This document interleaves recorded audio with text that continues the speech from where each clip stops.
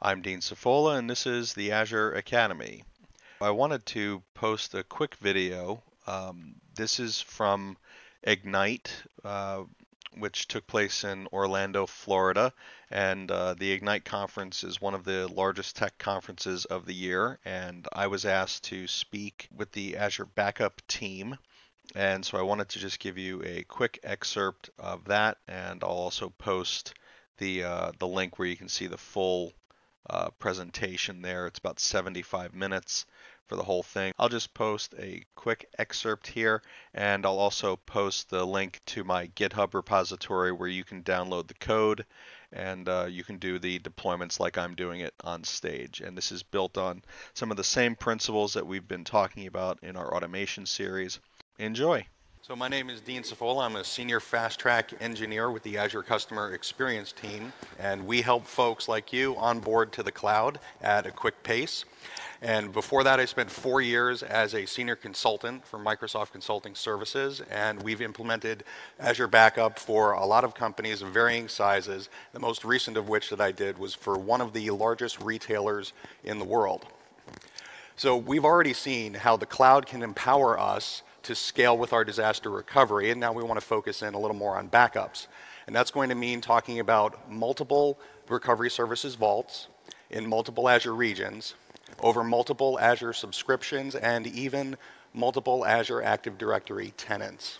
And then we're going to talk about how we can manage all of that stuff at scale, make sure that we have the proper security, monitoring, reporting, and governance in a way that we think will help you, the backup administrators, look cool. Sound good? All right, so let's get started by talking about what it means to successfully manage an environment. So we need to talk about deployments. This is where we're going to deploy that backup infrastructure, and we end up with multiple environments. And this is where we have our dev, test, prod, performance, etc. And then we have multiple resource groups. And this is where we separate out our environments or our applications or by our departments like IT, finance, HR, etc. And then we have multiple Azure regions. This is for reasons like disaster recovery or for performance or for high availability. And then we're going to talk about some security. And that's where we're having our environments uh, secured and locked down, as well as protecting our backups, and then protecting that backup data so that we can protect ourselves from any kind of attacks. And then last, we'll talk about the area of governance. We're going to manage our configurations, our policies, do our monitoring, performance, alerting, and then talk about some reporting and analytics. So when it comes to talking about deployments, every deployment starts out with a POC, and our deployment starts out that way too.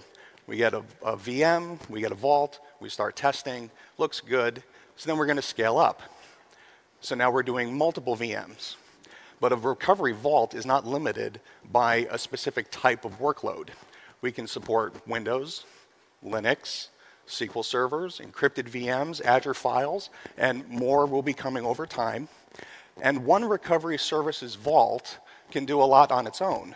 It can scale to 50 storage accounts, 1,000 VMs, and 2,000 SQL databases. Now, that recovery services vault is in a specific Azure region. So when we scale up across our subscription, we need more recovery vaults as we spread out into different regions. And then when we scale out across multiple subscriptions, the recovery vaults scale with us just as well. And then now we have all of this infrastructure that we have to manage and monitor and take care of. So let's talk about deploying some of this. Now, I'm going to need everybody's help. We'll need a little audience participation. Okay? I need everybody to raise your right hand. Come on, you can do it. All right, now, I need you all to repeat after me. Automation is my friend. You guys don't sound convinced. Why do I say that automation is my friend? The simple reason is when we talk about scale, we're talking about doing more. So we only have two choices when it comes to doing more.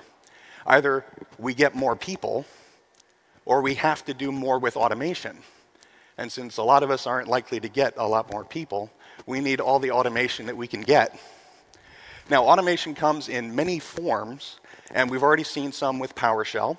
And I want to show you a demo of ARM templates. Now, how many of you have used ARM templates before?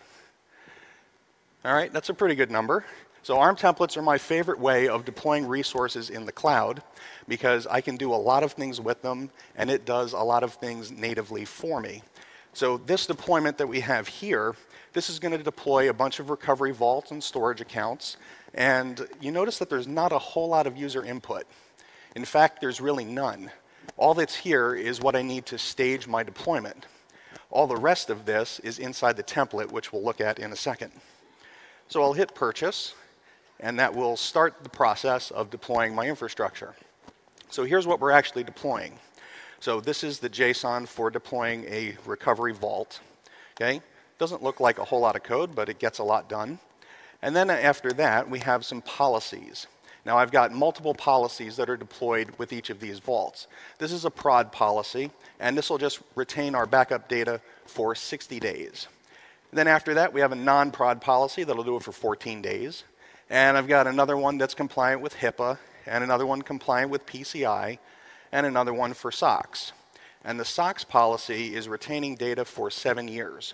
Now, this is a good time for me to mention, in case you weren't aware, that when you do backup stuff with the backup vaults, any one of those recovery points can retain data up to 99 years. Now, you are probably not going to be here if we need that data in 99 years, but the data will still be here. And also, you can have 9,999 individual recovery points for any one of the items that we protect. So after we deploy our backup vault and our policies, we're also going to protect, uh, deploy a couple storage accounts and then a log analytics workspace for doing our monitoring. Now, the reason I said that I like ARM templates so much is because of this block right here. Can you all see that? Let me zoom in a little. So this block is what does all the magic. So we had what I showed you for the recovery vault and the policies. And the way ARM templates normally work is you list out every single resource you want and every parameter. And that takes a lot of code and a lot of writing. And I'm lazy, so I don't like to do that. So I like to use instead this little block right here. This is the copy function. So if you're not familiar with the copy function, what that does is it says take the thing that I'm doing and do it again and again and as many times as I want. And we're also using a specific type of deployment, and that type is called deployment. And the purpose of that is it allows me to nest multiple deployments inside this template. And so what we're actually going to do here is deploy 20 recovery vaults and five storage accounts and one log analytics workspace. And if anybody starts singing the 12 days of Christmas, you're out. So let me reset our screen here. So this deployment is done. It took 39 seconds. And in 39 seconds, we have now deployed enough recovery vaults across the world that we can now protect 1,000 storage accounts, 20,000 virtual machines, and 40,000 SQL databases. This is what I mean about deployment at scale.